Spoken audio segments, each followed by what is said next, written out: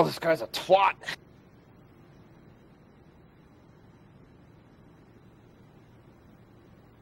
Probably, bro. Pick up the rounds!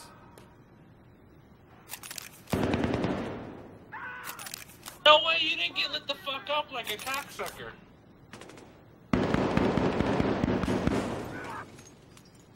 Where's this? About to knife your ass, probably.